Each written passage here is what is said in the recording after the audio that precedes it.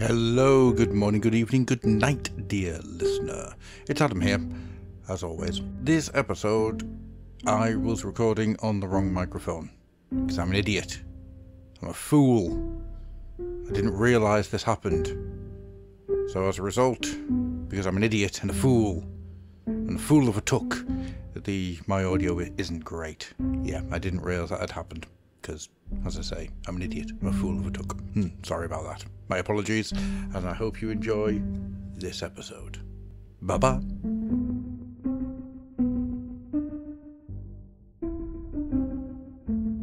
Humpty Dumpty sat on a wall. Humpty Dumpty had a great. Freed from Humpty Dumpty's mortal shell emerged Glowhawk, devourer of the infinite.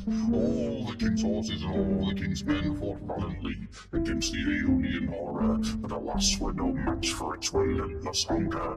Glowhawk lay waste to the land, imprisoned the souls of the consumed within its internal abyss, and ushered in an age of ruin from which mankind would never survive. Welcome to the. Roll the music. Every man lives, not every man truly dies.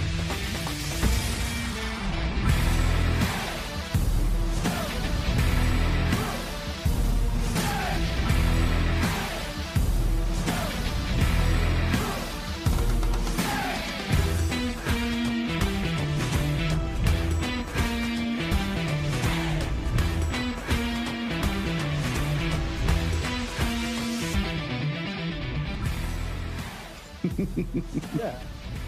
We have to That start didn't doing the well. Bob the Builder intro, but with chaos. I would like to say that that was something that I wrote. It isn't. It's something I found on Facebook, and full credit to the person who made it because it's absolutely wonderful. It's just like. it's You could do, very you hard could to do say. Bob the Builder, uh, uh, Abaddon the Despoiler, can he break it? Abaddon the Despoiler, yes he can. Yeah, Abaddon, Bob the Builder. That'd be Perturabo, wouldn't it? Perturabo, well, I like the idea- he fix it? I like the idea of rubbing it in that like Abaddon blew up Cadia. That's what the Black Legion would sing to the Cadians as they kill them again and again and again. Make them cry, and demoralize them. it. No, you can't. No, we broke it. Abaddon, can we kill it? Abaddon, yes we did. Abaddon, it's all gone now. Abaddon. But then that brings up the whole new conversation about uh, the uh, Mighty Machines movie that's in the Bob the Builder canon. What? The what? The what? No. Yeah, there's a movie. There's a Bob the Builder movie. It's called Mighty Machines, and it Okay. stars um, Not Oh, Big what's his name? the guy who was um, in X Men Two as um, Stryker. Oh, that guy. I don't know his name. I know. who you mean. Uh, Brian Cox. Brian Cox, thank you. Yeah, Oh. that's the one. Yeah, Brian Okay, Cox. yeah.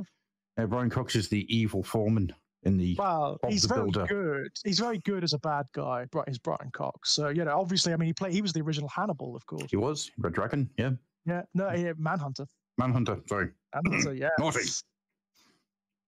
Yeah, Very. I mean, very interesting film indeed. No, not not astronomer Brian Cox, Big D. Not that guy. No, no, not that one. No, the Well, other one. maybe, maybe it was him. He could be Hannibal No, Lecter. that would mean that Brian Cox was in Manhunter. He So was in X Men. and he was in D Ream, and I am all up for that.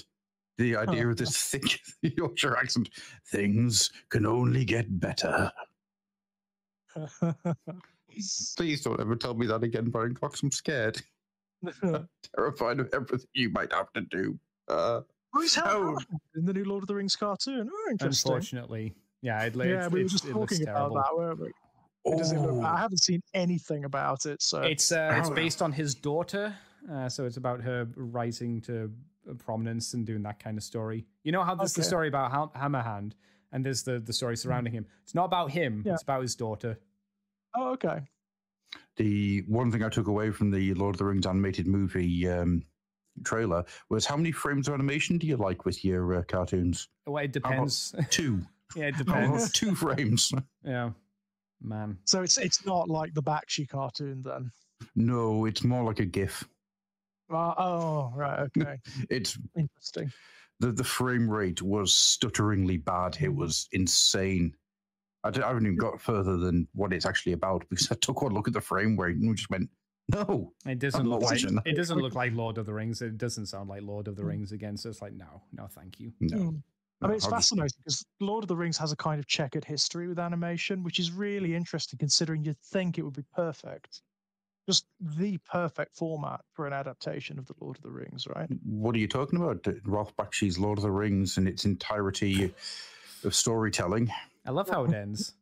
Oh, I, Yeah, I adore perfect how ending. that- I, I, that it doesn't. Yeah. yeah. it just doesn't bother. Yeah. just this voiceover comes in, and thus ends the first part of Lord of the Rings. And uh, Oh, will so- you be getting a second part? No. Well, you do. won't. You, You did. do the Rankin Bass version, which is Yes. I mean, I loved Rankin Bass. I did, but that is garbage. It is hot garbage. I will say though, that the Hobbit animated film is great. No, it is. Yes, it is. I will fight is you. really. I mean, it's not. I mean, okay, the, the films themselves are not great, but Where else do you see a small, weirdly proportioned man boy thing go absolutely nuts because he's left his handkerchief at home and have a uh, an entire film of Vietnam flashbacks because he doesn't have a handkerchief? Every time I look Because- into the mirror, yeah, I was going to say that I could knock that out on I the way like to my work. handkerchiefs. I'm proud that you didn't knock things out on the way to work. That would it's never a good thing. Never a good thing. So, um, I'll do a little bit of housekeeping first before we start getting into things. You may notice as this episode rolls on, we are taking a bit of a format change. When we first started doing the Fluffenhammer, oh, those seven years ago, well, eight years ago now, Yeah, eight years. Yeah. Mm, um, one of the things we were doing, we were doing topics. Um, we were doing all sorts of things. We tried lots of things. Uh, for the first 10 episodes, we had a pub quiz at the end of the show. Oh, I remember that. Yeah. yeah. Yeah. Um, these things kind of got left by the wayside around about 2020. Can't think why. Can't think what happened Yeah. there. There's Um, and nothing significant happening then. the, well, I think the Backstreet Boys had a reunion tour, but that's a, Yeah, as far as I can remember. that. Mhm. remember hearing that. Lots Um, of people got tickets, right? Lots of people Yeah, got yeah. Uh, oh, and that just made me watch Backstreet's Back All Right on constant repeat because that song fucking slaps. I don't care what anyone says. Everybody, yeah, yeah, rock your body. Yeah, Actually. Andy's in the right format for that song. he is. Yes. um, so yeah, we kind of transitioned because of all the streams and everything that we're doing. We transitioned into covering the news, and we left topics and, and things like that behind. Um, and because any ship that's worth changing course on takes a little while to change the course, we've decided that it might be an idea to get back to those topics. I think we might. Yeah, it wasn't even conscious, was it? Really, it was just No, something that happened, right? It was. It was. It was because, well, to be honest, it, it's down to three big reasons on- from my point point of view. Um, I was working from home because COVID had happened, um, so as a result, we weren't. None of us were really doing much. Um, my son had just been born in the January. Uh, my dad got very ill, and as a result, I had no time to prepare things anymore. So Yeah. there was no research time going in. Um, also, I suppose it was just like Games Workshop chucking out stuff as well, right? I mean, they, well, yeah, they, were- they- they were doing a stream once every two months. You know, right. It was it was hard to keep up with, wasn't it? There was so Yeah. much stuff coming. Yeah. Um, it was a, a hell of a lot of stuff, and that's kind of what happened. We just ended up doing that for uh, three years, Yeah, yeah. four years. Um, so that's kind of what. So we're going to try and get back to doing the topics and things, which means we can do a little bit more uh, listener participation and you know getting things like that because I think it's more fun. Um, Yeah. It also means we've got more of a free and loose conversation, not Mhm. just hemmed in by the news anymore. Yeah. Um, I the other good thing about this is it means I can work on getting a backlog. And if I can get a backlog in place, then I can just release stuff in every two weeks without fail. And I don't have to stress about trying to get things out and done. Um, I've got the ability to do it now. So that's the plan as it stands. These things will probably change as next week comes along and I have another stupid idea. or Games Workshop drop a bomb on us. You know, something happens where they actually. Have you seen what's going on with the next? Like, is is it Games Day? The next thing we've got coming up, Y- Yeah, Warhammer Day. Yeah. and it's all chaos apparently. Mhm. Like, like primarily chaos, which is like, Yay! Can't wait. I know what they're going to do. Don't we all? Don't we all? Not saying that Yeah, I'm not saying it. I know what they're we gonna do. know. We all know. Just know that I will be for the recording after that wearing a very large hat. You'll be doing your best Hashut impression, yeah. I will curl my beard through sheer anger. Can you actually like buy a proper Chaos Dwarf hat online? You must be able to, right? Oh, somebody, somebody must have done it somewhere. There, there has to be a Look LARP one. There must be. There must be one, right? Yeah. Yeah. I mean, it Hmm. would require a lot of scaffolding to work, wouldn't it? Hang on, hang on. Let's let's have a look. Um, I mean, they make those giant, um, like comically large Irish hats for like um, St. Patrick's Day, right? You know, the big green Yeah, ones that go up for miles. yeah, that's true. No I last why not. Halloween, I, went, I Um, went to a party as the Mad Hatter. I had a massive hat. It was Hmm. crazy. Just Ooh. that modified would actually work really well as a Chaos Dwarf hat. Stick some horns on it or something. You'd be well away. Uh, yeah, unfortunately, no. There's uh, you can get big pointy hats, but you can't get any that are just the giant tube that goes on your head. Really? That's a shame. Mm. That's a shame. I, I will. Uh, I will. I'll ask Abby to measure my head, and I will start. Just make one, yeah. yeah, why not? Hey, Uh, I guess you could Sure. start with like a cheap top hat and kind of work off that as like a base structure. yeah. It's not. It's not too difficult actually. No, no, it's not impossible in any way, shape, or form. But uh, it's going to going to be the greatest show we ever do, where I'm sitting like three foot Yeah. back, so you can see the full hat. The thing You is, need for the hat to work, you need the beard as well. You really need like the full. It's got enough of a beard. It's, it's good enough. I was, I was thinking need more some tusks just for that The underbite. tusks too. Yeah, definitely. I'll uh, I'll do what I can to grow some tusks between now and. I mean, you could get fake ones, but if you could grow them, that's even better. No, what? I, am gonna say, if you can grow them, go for it. Just sheer will. I'm just gonna be there, just with warp dust rubbing them into my gums. Either that, or just Mm. go boar hunting and get the boars ones. There you go. Yeah. Speaking Yeah. of boars, Yeah. um, something that's very boar based. Me and Abby have decided to go back and start watching Lost again. Oh. Really. Right? Hmm. Oh. I, I only I only got to the end of the first season before I went. This is shit. I'm not watching it. Right? Mystery box, baby. Doesn't matter what's at the end of the mystery box. Ooh. and I think the major problem I've got with it is it's about five years too early. If it was five years later, there would be less episodes, and that instantly would improve it. It's a it's a fascinating experience going back to it. Like How many seasons did it get in the end? five. I thought Five, it was like seven. I No. it was seven as well. Was I'm, I'm happy it Oh, only five, but it feels way longer than that. It oh, feels like it never 26. ended. 26 episodes a season. 26. Wow. You know, Wow. It's an endurance test now to see Oh, if we can get to the end. That's the thing, though, isn't it? I mean, like when you had the promise of there actually being a proper ending, it was actually kind of fun.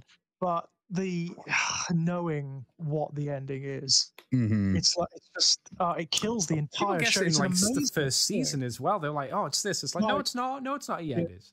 This Yeah, is it the thing, right? People guessed it either people either guessed it right, or this is this is what I think. The showrunners just didn't know. I agree, 100%. where Yeah. were going. Hundred percent. and they just like you know they just went with whatever someone said basically oh let's do this I He's attest to the incompetence of. J.J. Abrams, and I think that is like he said it like um I don't think it was a TED talk, but it was something he was he was selling the idea of the mystery box, and to me that Right. just was underlining the case that it's just the idea of what is in the box rather the Mhm. importance of what the box uh, what is Yeah. in it. Just what does the Mhm. person think is inside it? It's the mystery surrounding it. It's like oh you couldn't write yourself out of a shoebox, JJ. You fucked up Star Trek, so I'm I'm always going to dislike him as well. I don't know. I, I think his Star Trek films are watchable. it was the beginning of the end for Star Trek. Like his first one's fine. It's a fine action movie to Mhm. kind of get people in, Yeah. and then it's just downhill from there. I think the third one's better than the second. That's not saying much, but I would agree. It's that's very much a Yeah. TV movie, very like much like um, Yeah. Oh, Insurrection. Yeah, it's um oh god, Insurrection. yeah, yeah.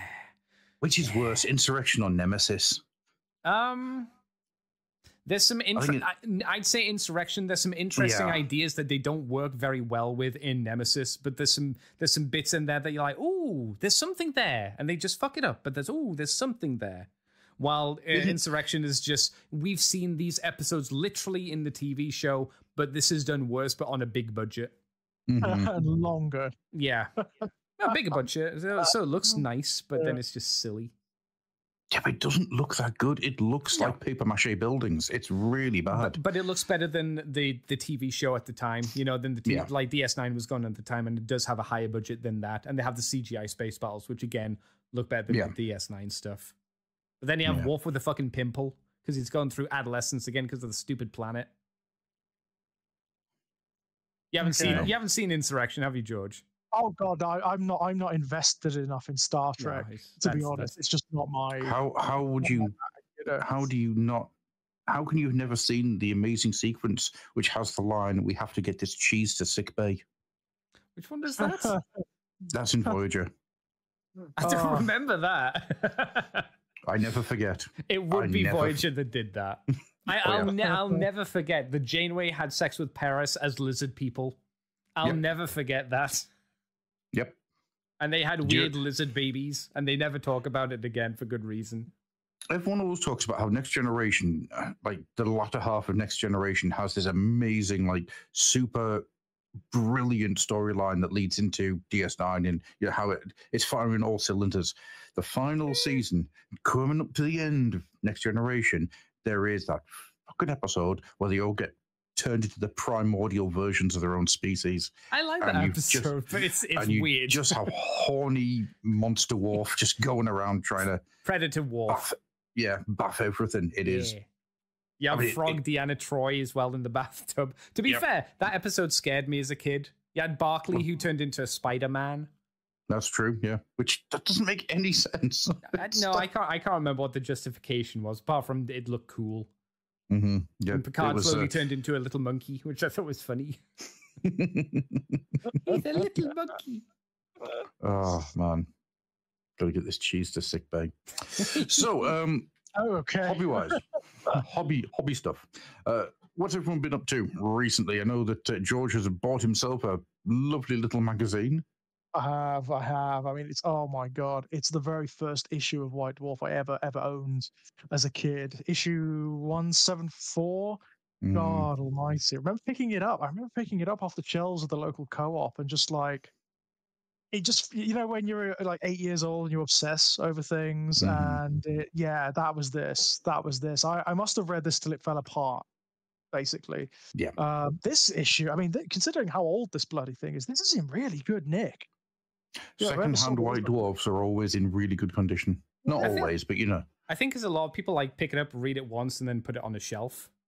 There's, Yeah. there's Could not a lot of people that just keep going back to it again and again and again. I think that's the the the way of most magazines, though. Like with the, with the Mm. codex, you go back to it a lot because you probably you're probably using it to play with. With a magazine, Yeah, yeah. unless you're going back for like um a how do you do this art wise or how do you make Mm. this thing, you're probably not going back to it often. I would imagine. Oh, I am. Oh yeah, yeah, yeah. I then, mean, there, no, there are you know, exceptions, but like you- you're basically you mean normal people, don't Yeah, you? yeah. You don't mean like like neurodivergent people like me, right? Well, that's what you're. talking there's like kids that will obviously do that. There are like super fans that will do that with specific issues. Yeah, Um, yeah. Mhm. basically, yeah. No, I was obsessed over this. I really did, and it was it was the gateway. You know that Hero Quest, Space Crusade, and this issue of White Dwarf, basically, um, just got me in, and it was.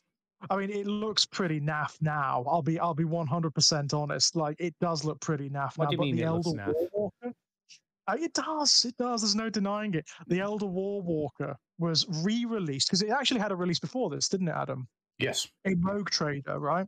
Yeah. Um, but it was re-released at this It point with Re-released and cleaned up. But, Cleaned but up a little bit. when you said it looked naff, do you mean the models, or did you mean do you mean the magazine format? Like, sorry, which, which- No, no, no. I mean, I mean, the model is is. oh, the model. I thought you meant like the, mo- the the the way the magazine was laid out or something in the, No, the no, no, format. no. the ah, okay. fine, Oh, magazine's yeah, no, really the, yeah. The Walker is is um, But it's the a des- it's a design. it's- It's a design. Yeah, absolutely. I loved it though. I absolutely loved it to bits, and I, I, I you know, pestered my parents to take me to the Games Workshop in Derby, which was not very far away, and pick up pick me up an Eldar War Walker, which they did, and I got, and it was made of lead, and it fell apart Mm. you know, before I could paint it properly. What do you think is a Design- better design? Do you think the Imperial Guard Walker is a better design, or do you think the Eldar one? Because they're effectively the same. Eldar one. The Eldar one. What makes the gonna go Eldar one the better? Sleek, sleeker. What do you mean, the more modern one or this one? No, no. I, I mean, I mean the old one and that one. You know, Oh, they oh, came they- out about the same time. I mean, I will always go for this one for sentiment's sake because I Mm. think it's just spectacular. I mean, it's naff. It's totally naff, but I love it. It's great. What about Gruff? What do you think? Do you, do you prefer the Look at it. Imperial one, or do you like the Eldar one more? It's stupid. The pilot's on the front and he hasn't got any protection at all. It's stupid, but I love it. I think it's great. there was a design aesthetic, and it's one of the things I desperately want to do is talk to one of the any of the sculptors that were around at that time because I want to know the reasoning behind it. Because I, I think I know what the answer is, but I, I really want to know. And it's anything that has any form of crew has the crew basically on a deck chair with no protection. My guess is it's because that way you can see who's driving it and you can paint the person, right? I Um, do recall that in the Eldar Codex, the second Ed Eldar Codex, the background for these things, they don't have canopies or armor in because they have force fields. Exactly, they have a force field. So yeah. And to All answer right. Andy's question, I'm going to go for the Imperial one. I was thinking that. I like the angles on it more. Yeah. It it looks like something you could shave with. Oh, uh, I was thinking it looks like something that was probably initially like a, a carrier, like it would move like boxes or something around, and they just uh, stick some guns on it. Who cares? guns on We're it. gonna yeah, die, not? so why not just throw it out there? Whatever. It's the Imperium. Stick guns on it. Yeah. and skull. yeah. things. Why not? Right? I- I love the fact that the land speeder of this time has two guys who are Oh, on God. what is basically a rocket powered box Yeah. on deck chairs with no protection. And so good. all you can hear is just the screams of them as they're trying desperately to hold Yeah. on because there's no there's no seatbelts. They No. are not Right. And fastened into their chairs. Oh, that bloody miniature as well, which is like a block of lead. Mhm. It is a block of solid lead that you had to put on one of those bloody transparent sticks. Oh, brilliance. Absolute brilliance. I think the best thing about that land speeder though is the fact that uh, symmetry is something that happens to other buildings. It's, Absolutely. it's And not like so aerodynamics as well. How the fuck does that thing fly? Power. How does it Yep. fly? Just like in Back to the Future, McFly, you can't uh, go on water unless you have power. Did the land Oh, speeders stop working over water? Oh, 'Cause I that's, hope the most, so. that's the most amazing rule I think I've ever heard. Not the orc ones. The orc ones never do. They believe they can float on water, so it's fine. I believe we can fly. We believe we can touch the sky. Andy, Uh, have, have you been up to any uh, any hobby? I got Space Marine 2, and I've only streamed it once, so I Oh. haven't got far through it. No. How how you finding it? Ah, it's good. Yeah, it's very pretty. It's very, very Hmm. pretty. Uh, it, it, there's actually a bit more of a story to it compared to the first one, which isn't, you know, that's not that's not saying a lot. Uh, I really like how it starts off. You play as a, a death um, Death Watch guy, which I thought was really cool. Uh, and then you Mhm. unfortunately downgrade your armor to an Ultramarine armor, which is a, obviously a massive downgrade visually. Um, I'm not sure how I feel about the counter parry system at the moment. It's something I feel you got to get used to. Uh, and the amount of nids on screen is is uh, it's really impressive. There's a lot of uh, Tyranids on screen at one time which you actually interact with, rather than you know just being a, a thing that happens in the background. They actually Yeah, come yeah. towards you, and there's a huge swarm of them that you gotta kind of handle at one time, which is really interesting Yeah, that sounds fun. already there's been quite a lot of like weapons. Uh, I've had a melter. There's a standard Primaris bolter. There's a stalker bolter. There is a a close range bolter of some kind. There's a pistol, a heavy pistol, uh, chainsword, combat knife. Um, there's been a, a, a um, I think a heavy bolter as well, just the standard, you know, uh, devastator kind of one. Um, I can't remember if I've missed any other weapons, but there's a decent amount of weapons, but you can only hold two at a time. Unlike the previous game where you could have uh, your pistol, your your bolter, and then like two other auxiliary ones. So they've limited it down. Um, I'm not really sure on the game reason why they've done that, but I guess it forces you to kind of mix up what you're using for the situation. Yeah. Simplify the gameplay a little bit, maybe. maybe, maybe, yeah, Mm. and probably to get you into more combat, Yeah, like yeah. melee combat, I should say. But yeah, it's really Mm. good. Do we think there's going to be a DLC where you manage to get inside the baby carrier and drive that thing around? They, Yeah. ha- they well, they didn't mention that specifically, but they have mentioned online that they have done uh, exceedingly well, and the game's done pretty well in terms of sales and numbers and uh, uh, you know Mm. uh, stuff out there, getting it out there to people. So they're thinking about uh, bigger things than what they were planning to originally, which is good. Oh, excellent. That's nice. That's really cool. It's nice to see a Games Workshop video game doing well. Yeah, it's apparently done better than all 29 other Warhammer video games combined. Yeah, that's cool. That, that And it's doesn't only just surprise me. came out, so that's kind of impressive. Mm. Oh, there, there was a news story today that Henry Cavill is playing it and enjoys it. And I, as soon as I saw that story, I went, "Why is this a story?" Wa- Henry Uh, Cavill likes Warhammer. Why wouldn't he like Space Marine 2? I was going to say it's almost yeah, and also he's an inveterate geek. Yeah, this is everything he loves, right? Yeah. It's a video game and Warhammer. Of course, he likes it. Man No, he in desert likes water. Who knew? Right. of course, he tell- likes. He tells the story multiple times about how he nearly missed out being Superman because he was doing a raid on World of Warcraft. yeah, It's like, yeah. we can, we kind of know this shit, man. You know, you don't need to report this shit. People people think it's news story because it's a celebrity. But so I just kind of looked at it and went, "Well, okay, yeah, fair enough." It would have been Fair much better if Henry Cavill liked Space Marine so much he has now decided to go through the Primaris uh, Rubicon himself It's Um, himself. yeah. and uh, reappeared at Los Angeles this week as a transhuman. For, forgive me for being selfish, but I would be more impressed if the story was Henry Cavill listens to the Fluffenhammer. Um, oh God, that no, would be no, that, would obviously be for very selfish reasons, but that would be more and, yeah, impressive to me. Yeah, you know. definitely for me. You know, So if anybody wants to quote out that, there. Yeah, lie to us. That's okay. no, no, no, just just quote Henry Cavill listens to the Fluffenhammer. Oh, yeah, Andy Millman, yeah. yeah, there you go. Yeah, I'm a reputable source. I'm dead. marks, You know. ellipsis, you know. Yeah, well, it's it's how the back of DVD boxes used to work. You know, Absolutely, It's true. bloody is. true. you, you just take the line as verbatim, verbatim. Burton? That's what, that's what the Verbatim? word. Verbatim, yeah. verbatim. As, as verbatim and verternium, and oh, verternium sounds like the best. Verbatim? You say that. You say that stuff, but apparently for the I, I've just seen the latest Transformers One kind of trailer, and it has quotes from people who are in the Transformers community rating it, and I'm like, huh. It's like it's the it's a person from Transmissions. It's a tr- uh, TransformersInfo.net guy from uh, Twitter. Inter- okay, fair enough. All right, know. fair enough. I mean, like you know, target audience, I Yeah, suppose. you yeah. All right. Why not? I just really like the idea of somebody quoting Henry Cavill listens to the Fluffenhammer dash Andy Millman, but underneath it says something like co-owner of TF Wiki, just to get it wrong enough to be annoying.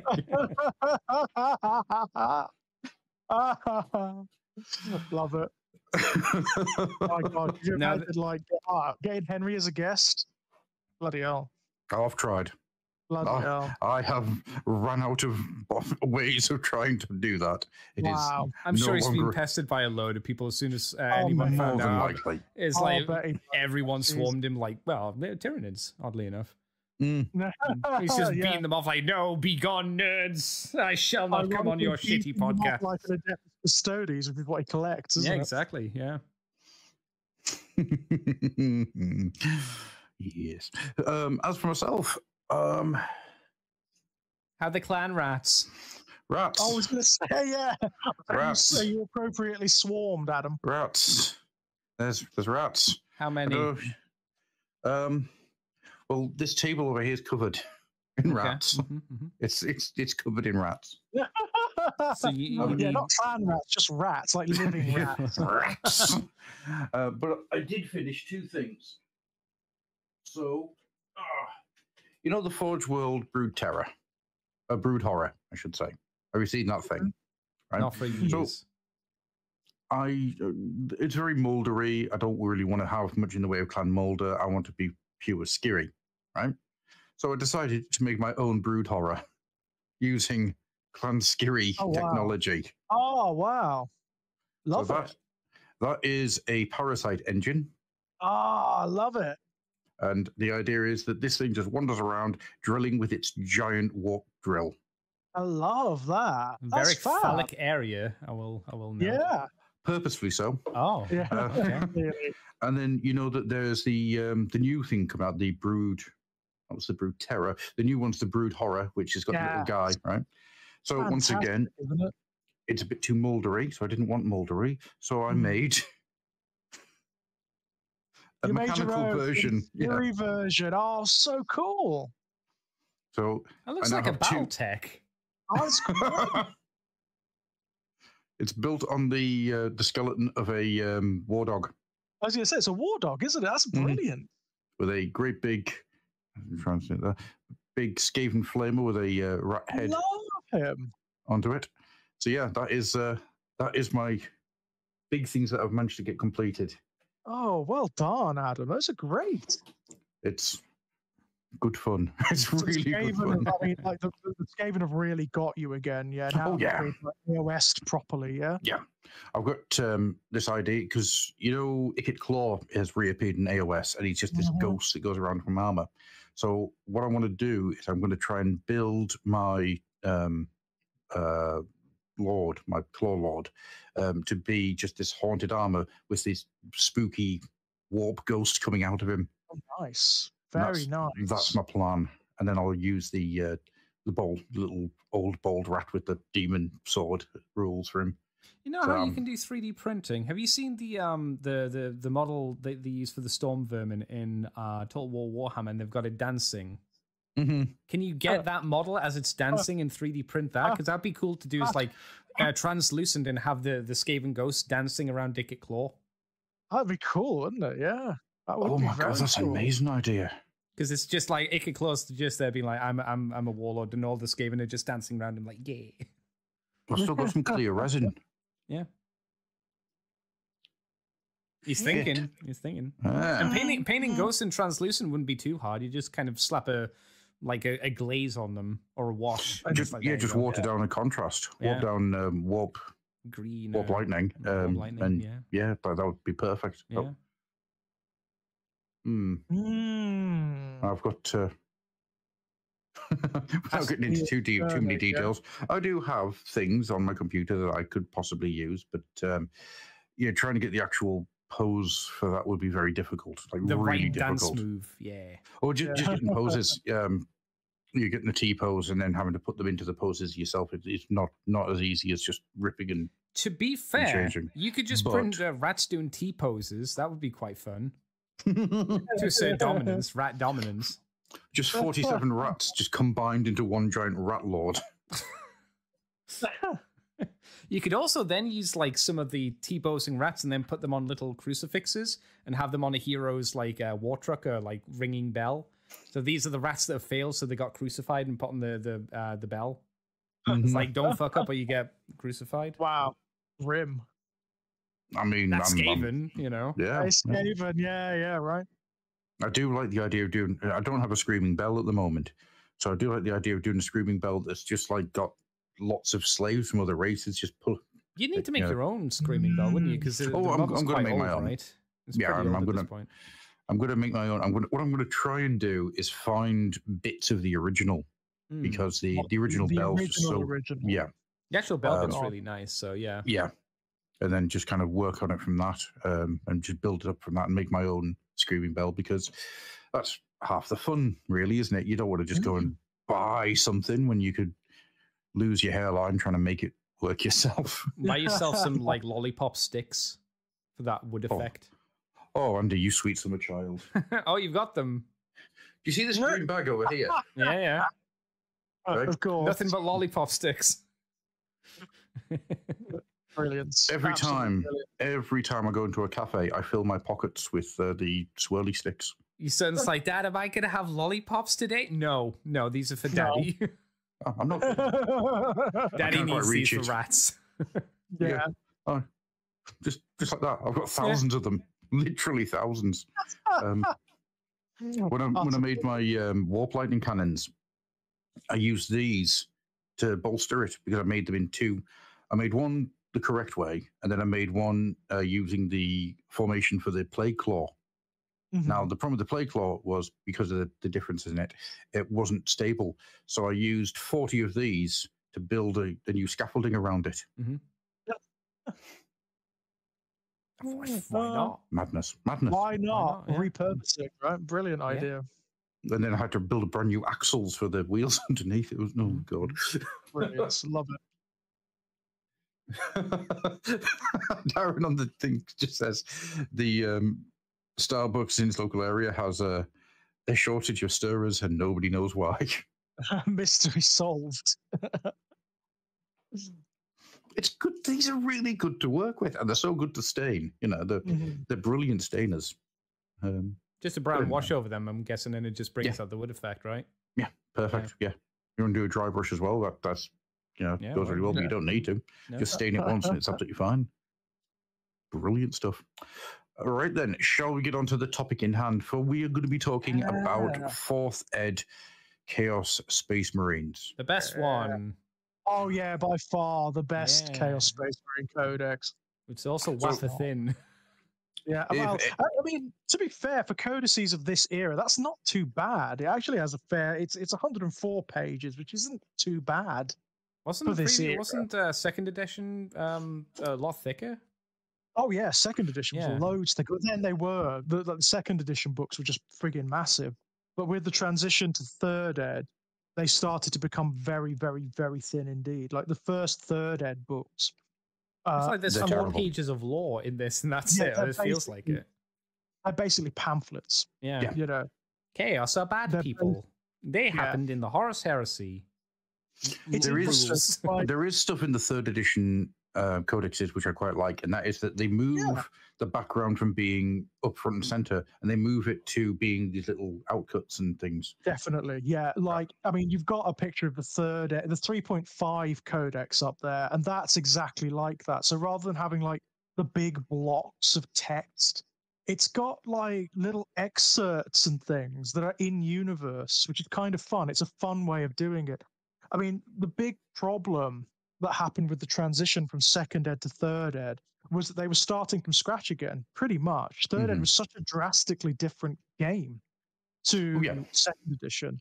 I mean, like everything was scrapped, so the the rules were completely different. The the, the assumptions of the game were different, and in in baseline terms, it was a it was a good transition. You know, I, I much prefer third ed functionally to, to second ed because I mean, second ed is great fun, but it's a mess. It's a mm-hmm. freaking mess. So you've got things like in second ed, the vehicle rules basically are another set of rules that are bolted onto the main rules section. The vehicle rules in so second ed are their own game. I've yeah, always said it. totally Yeah. their own game. And figuring out how vehicles work in second ed is a nightmare. It's a complete nightmare. Whereas in third ed, it's all integrated. It's all integrated into the main rules. Psychic psychic stuff is the same. In second ed, you had uh, Dark Millennium, which fl- Mhm. it filled out the psychic phase. But the psychic stuff is an entire game system in and of itself. If you've got Yeah. psykers, when the psychic phase rolls around, suddenly the game just stops. And you've got to like get your cards out and figure out what psychic can do what, how many, lo- how much power they have, or, and oh my god, it's a nightmare. Third ed, they refined it all down. So psykers are just characters with with weapons, effectively. Mhm. Psychic powers function like weapons. The big problem they had is that because they were trying to rush everything out of the gate so quickly, because of course everything was invalidated with the shift from second ed to third ed, all the codices were completely invalidated. They were trying to get as many codices out as possible. So, like every month after third ed hit, there was a codex. Mhm. Every month there was a codex. So you had the Space Marines, you had the Dark Eldar, you had the Chaos Space Marines, and that's the first third ed Chaos Space Marine codex, not this one that you've got up, the other one, the previous one. And the problems with them is because they were trying to rush them out, they're not very good. Like functionally, they're not very good. So, like the third ed Chaos Space Marine Codex had a lot wrong with it. It had so much wrong with it that the month it came out, there was an errata in White Dwarf putting like a page full of stuff, Mhm. putting things right that they'd either missed out or that just didn't work. A really good example. It was the, the article. I, I'll always remember because it's called putting the zap back into Tzeentch. Zap spelled with a right? The reason being, they'd actually the army list is so rushed that there's inconsistencies in it. So you can take a, a demon prince, right? And the demon prince can have psychic powers, which in this edition function like weapons. Okay, so you have to roll to hit with your ballistic skill like you would with a fired weapon, right? Yeah. Demon princes had a ballistic skill of zero. So Mhm. that you could give them a psychic power, but they couldn't hit anything with it. No. Literally couldn't hit anything with it. If you had a ballistic skill of zero, you couldn't roll any number to hit anything. It didn't. You just couldn't hit anything. No, you're not so on the they had- it was that. Yeah. It was that kind of thing. You had a situation where chaos lords who had a, like a mark of chaos, they could join. Like, say, say you had a chaos lord with a mark of Khorne. Yeah. They could join a unit of Khorne berserkers, but they didn't have the same rules as the Khorne berserkers. So the Khorne berserkers were fearless, right? This chaos lord wasn't. So the chaos lord could run away, but Mhm. the Khorne berserkers could. It was that kind of thing. There was loads and loads and loads of problems with the third Ed Chaos Space Marine Codex, the original one, as there was with all of those early third Ed codices. Do you remember the Eldar one? Oh yes. Everybody remembers the Eldar one from that era because it was goddamn ridiculous. It dominated that entire edition. It was so ridiculously powerful, people started to refuse to play against certain armies. hmm But what they started to do about halfway through Third Ed was update or even completely replace the codices with, and they did so with an eye towards like an actual philosophy rather than just like, oh, we've got to get stuff out as quickly as possible. They really sat down and thought, like, what are these armies? How do they function? What what feeling do we want them to convey? And on the back of that, you got this. This is, I mean, this is the 3.5 codex. And you, you've heard me Mhm. talk about this before many times, either here or in the Fluffenhammer adjacent.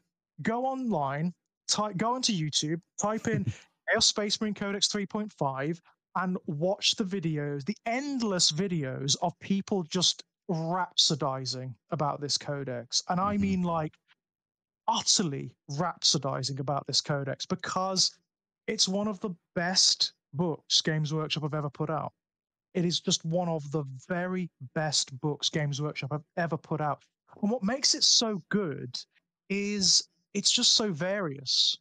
It is complex. There's a lot of stuff in here. There's a lot of caveats. There's a lot of like things like types of war gear, like there's demonic gifts that function differently from normal war gear. There's God specific demonic gifts. There's marks of chaos. There are veteran skills, veteran skills that you can apply to individual Chaos Space Marine units to reflect the fact that these guys have been fighting in the Eye of Terror for X amount of thousands of years.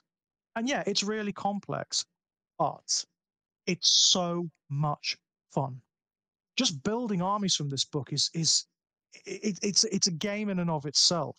Each of the chaos gods has their own mini book in this. There's the book of Slaanesh that has its own mm-hmm. artwork and its own background, and it has its own marks and armory and psychic powers and minor psychic powers and special psychic powers. On top of that, for the first time, you get specific army lists in a codex for the different undivided legions. Yep. You get the Night Lords, and th- these are basically based on the um, the Index Astarte. Is it the Index Index Hereticus articles? Yes, that yeah. they did. They're like simplified versions of them. So you've got the base army list, which is really various. You can do all sorts of things with it. Then you've got the undivided legion army lists, Mhm. which are really interesting. Then you've got the god specific army lists, which have got so much detail. And yeah, it's it has problems because there's so much stuff in it. It's internally imbalanced. Yeah. Yeah. So do you remember these guys from this edition? Anyone who was playing in third edition? Does anyone remember the Iron Warriors list that were I- bloody everywhere? I do. That was the point when the Iron Warriors became famous. Yeah, because absolutely.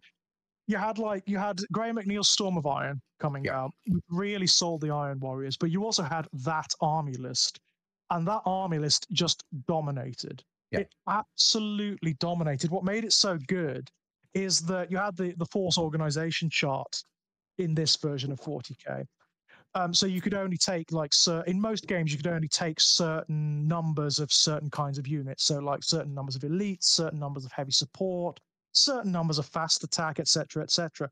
The Iron Warriors could do this thing where they could swap like fast attack and troops choices for heavy support. Mhm. So you could have a load of different heavy support units all at once in an Iron Warriors army. So you Demolishers. could have demolishers, you could have um, uh, defilers, you could have obliterators, have you know all those kinds of things, havocs, all those kinds of things, and it just made them really powerful. It made them a really, really powerful army. They dominated for the longest time.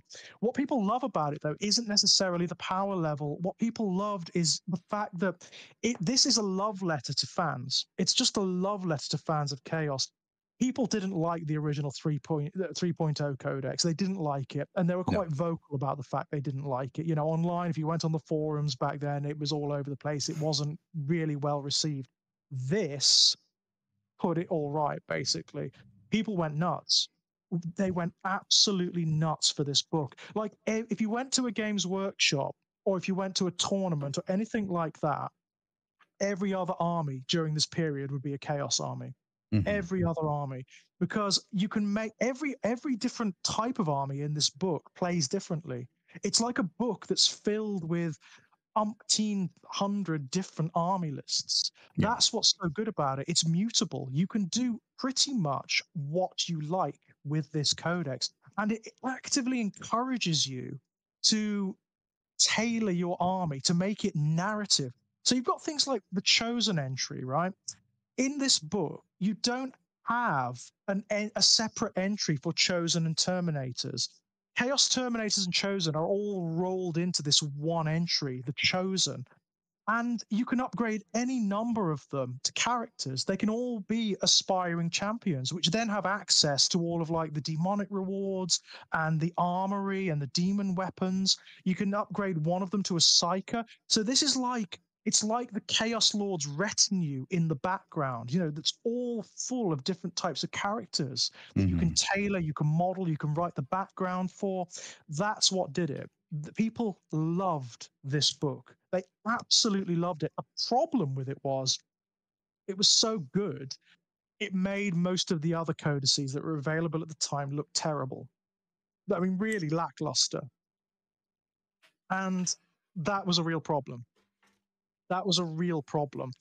Because people obviously people were a little bit you know were a little bit jealous of it but rather than taking this format and making all of the other codices better when fourth ed rolled around they didn't. No. instead they jettisoned everything. And i mean everything. All that was good. I mean this this book needed it did need work there's no doubt. It needed tempering yeah so some of the more abusable elements needed to be toned down. The, the Iron Warriors army list kind of needed to be toned down. The Emperor's Children army list kind of needed to be toned down a little bit. The availability of like certain demonic rewards kind of needed to be toned down. But that is just a balancing issue. What they should have done was take this format and just refined it a little bit, right? Just just tweaked it a little bit, limited the number of demonic rewards you could take for any one character, stuff like that just balanced out the variant army lists and everything would have been good. They didn't, unfortunately. What they did No. was they jettisoned it completely. They just chucked it out completely. And the the result was this. Do you guys remember the reaction to this? Yes, Do we I remember the. I, uh, I, I, uh, now I was coming out of it now because fourth ed would have been my jumping off point. yeah, me Um, too. the- yeah, and that a lot of that had to do with I didn't. I need to frame this a little bit here. I think. Um, Rogue Trader, we know what Rogue Trader is. Rogue Trader was a game that was never meant to have two people playing. It was meant to be two people and a DM. It is Yeah, an RPG game played on a tabletop. That's what Rogue Trader is built to be. Yeah. It may be an army that you've got, but it, that's what it's built to be. Second Ed gets rid of the RPG, and the system that it has is a very complex series of systems that are all running in tandem. And when they moved it to third and streamlined it, and I will say third is a much, much better system for its time, Mhm. but it lacks because the codices at the time were fucking terrible. They were- But well, all Just- of those early codices had to be redone. All of them. The Tyranid Every Codex is them. shite. It's Yeah. utter shite. the Um, Dark Eldar Codex. So they were the new army. Remember, the Dark Eldar were introduced for Third Ed, but they Mm-hmm. had to redo that codex halfway through. So you got like a 2.0 version of that Yes. codex yeah, I remember. Oh, I remember. Um, because it was bad. And so when Time Fourth ran around, that was my point of like going, I think I'm done. I'm going to jump off here. Yeah. Um, I, I think Fourth is a really good system. I think Fourth is a really good system and it has some very good codices. is- is really uh, good. Like the, yeah. the base game of Fourth Ed is actually really good. There's Mm. some really lovely things in it. Yeah, but at the, at the time, I was exhausted with Third Ed. Third Ed wiped out my love of 40k that I'd, that built up over Second Ed. Um, I stayed on a little bit with Mordheim and Fantasy Battle, but not for much too. mm, Maybe about another year, year and a half, something like that. Um, by about 2002, I was out. I was done. Mhm. 2002, 2003. Um, then I had a little little bit coming back in around about 2007 for a little bit and then Yeah. came out again. Um, because Fantasy Battle was a fucking mess in 2007. Uh, It really was. so I come back to it, and Fourth Ed is a much, much better system than I ever gave it credit for, and the codexes are much, much better. Third Ed is a really good system with shite codex. And it's a really funny thing now. AOS just did the same thing that Third Ed 40k did. The only difference being they released these shitty codexes for free online for you as gets you by. Hmm. And that's I think the bit that sticks in my craw when it comes to third.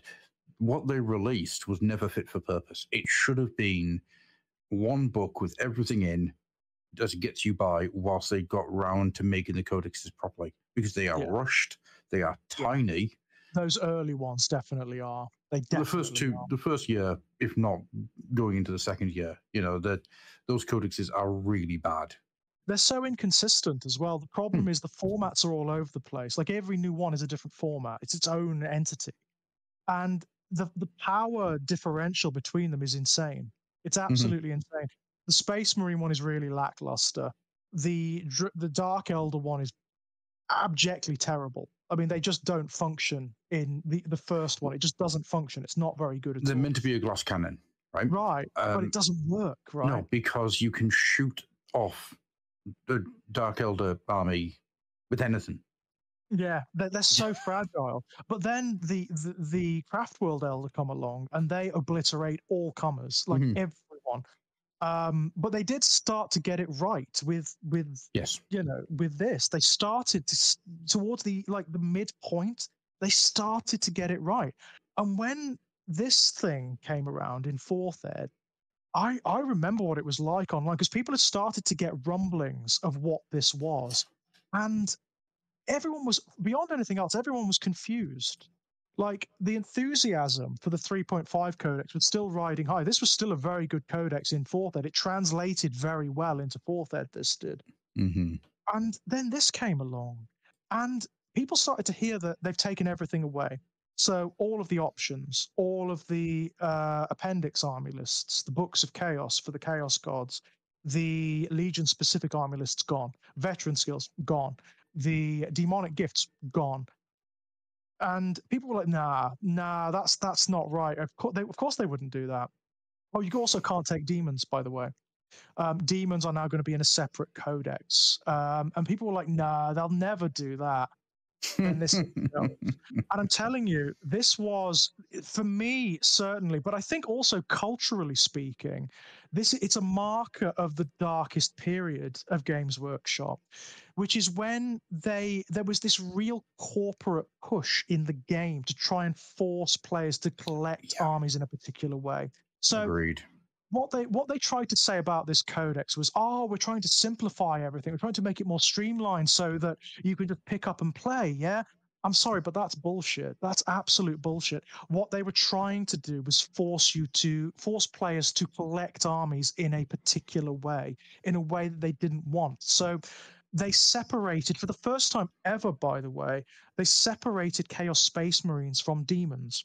So for the first time you've got two codices chaos demons and chaos space marines.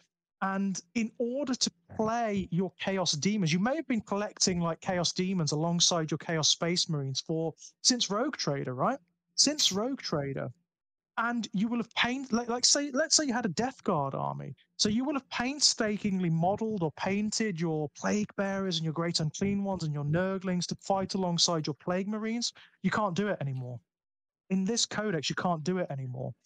Um, in order to play them as great unclean ones plague bearers nurgling you've got to go and collect an entirely separate demon army. And of course chaos players were like fuck that. He's not doing it. The vast majority of, of Chaos Space Marine players just stop at this point.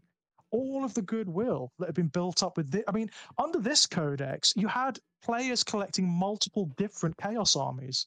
I did. I had a, a Word Bearers army, an Emperor's Children army, a Death Guard army, and a Thousand Sons army at this point, because you could Much like current day, then as well. very much like the present day. Yes, they're on that shelf back there.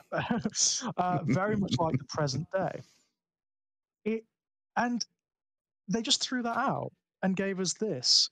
I don't know what they were thinking. I don't know how they couldn't have understood what the reaction to this book was going to be. And it was way more profound than even they thought. And you can tell because the format they introduced in this book and with one other that was released concurrently, which was the Dark Angels Codex, stopped immediately. The codices that came after this and the Dark Angels book are completely different. Yeah. Completely different. That minimalist thing they're going for with this, where everything is torn out, it's gone. It's gone. So that leaves this and the Dark Angels Codex in this weird no man's land where this format only exists here. So you can imagine chaos players were just righteously pissed off. Righteously pissed off. Not only had all of that role playing narrative stuff, that feeling in essence from the 3.5 codex gone, but we were left with a codex that was alone in this format. Perhaps if all the others had followed suit, it wouldn't have been so bad, but they didn't. No. No, what, you, what you've got here is a Games Workshop that is desperately trying to work out its identity. It was Ansell still in charge, um, Mm. and he is trying desperately to work out are you a miniatures company or are you a game company? Are Right. you selling games to sell the miniatures or are you selling miniatures to sell the games? And I think what happens round about this period of time, which would be 2003, I want to say. 2000, no, later than that, be 2000. Oh, this this is much later than that. yeah, This is- 2007, wouldn't it? Be 2007. 2007, yeah. Well Yeah. done, Adam. Yeah. Yeah. my God, my brain, it hurts. Um, sure, yeah, you have the, whilst Games Workshop have always been a company that makes the games, makes everything, everything is there to sell the miniatures. This laser points fourth ed and round about this time, and it's what kills Fantasy Battle basically, is that laser focus on we will sell you these miniatures so you can Yeah. play this army in this game. That's that's exactly the thing with this book. They've got this whole there's this, is like a bee in their bonnet about design in this book, where they want everything to be represented in the miniatures. They have this thing about invisible rules, with things like the marks of chaos, you know, which traditionally you can't always actually see on the miniature. No, depending on how they're represented. Here, there's this bloody stupid system introduced where if you want to give a unit a mark of chaos, you need to give them an icon of chaos. So the icon of their chaos god. One of the miniatures has to be carrying the the icon, the standard of of Tzeentch or Khorne or whatever. In which instance the unit gets the mark. So they get the Yeah. bonus, right? So you can see it in the unit. Fair enough. Not necessarily a bad thing not necessarily a bad thing. It's just the way it's implemented. So if the model carrying the magic stick is killed, the unit loses the mark. Yeah, the unit doesn't have the mark. The one miniature Oh. does. What you see is what you get. How does that make sense? Uh, it makes sense because it's tournament. That does not make any sense. So you're telling me that this unit, the, these Chaos Space Marines that are dedicated to Khorne, that are frothing lunatics, because one of their number drops a stick, they stop being that. Yeah. It's stupid. It's just really badly implemented and really badly designed. On top of that, it's the inconsistencies. It's again, it's not a power thing either. Do, do you remember the very famous army list from this codex that was actively banned from several tournaments? I don't. It was called the Dual Lash Plague Marine Obliterator list. Oh And- shit! Do you remember that? Yes. So what you what you would take is two demon princes of Slaanesh with the psychic power, the lash of submission. In your troops, you would take two units of plague marines, and in your heavy support, you would take two units of obliterators, and the rest you would just take chaff. Because that army list was the most abusable thing in existence. The psychic power, lash of submission, which is the Slaanesh psychic power, is broken. Yeah. It is one of the most broken psychic powers, not only in this edition of the game, but in any edition of the game I've ever seen. It's ridiculous. So the way it works is the target basically um, a psyker may use this psychic power in the shooting phase instead of using another ranged weapon. Pick any non-vehicle enemy unit visible to the psyker and within 24 inches, and then take a psychic test in order to use the power. So it's a demon prince taking the psychic test. So it's a leadership test. So it's really easy to pass. Like Mhm. they'll almost always auto pass it, right? Very rare that they'll fail. If the test is successful, the target is moved two dice six inches by the chaos player. The chaos player can actively move enemy units up to two dice six inches. I, if you've ever played any edition of the game, that is so ridiculously powerful. And if you can do that multiple times per turn, it's insane. It's Yeah. a good example of how this book wasn't play tested, like at all. It wasn't play tested. There's no way that would have gotten through if if there were any play testing at all. It's internally inconsistent because it is the most powerful psychic power. There's no reason why you would take any of the others over that. No. No. And as a result, that army list, the dual lash plague marine obliterator list, was banned in many, many competitive scenes because it's ridiculous. It's utterly, utterly ridiculous. So it's not about power. That's the argument that a lot of people often make when they're trying to defend this book. Oh, you just don't like it because this thing was so abusable and you want the power back.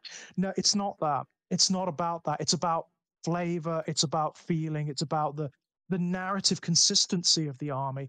This is boring. That's the big thing with this book. It is dull as dishwater. You know how I was saying putting together army lists from this is really fun. It's like Mhm. a game in and of itself. You can go through and see like what combinations you can create, what monstrosities with demonic gifts and like demon weapons and things you can create. You can't do that here. There are there is a standard entry for everything, and almost every option for everything has been ripped away. When you see it in the army list, that's what it is. That's how it works. That's how it functions. Chaos Lords, for example, like the only weapon options they really have are you can give them the demon weapon of their, their god. That's about it. Yeah. And even they're inconsistent.